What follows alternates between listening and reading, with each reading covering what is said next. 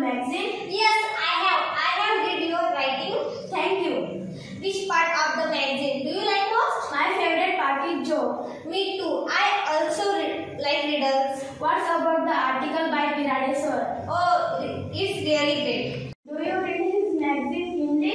Yes, I read his special column like education. Hmm. He writes very thoughtful articles.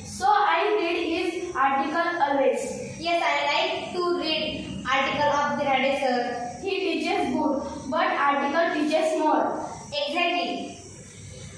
Now I want to go now. Sure, but you have to read magazine always and say your too. Sure, you have to. Bye. Bye.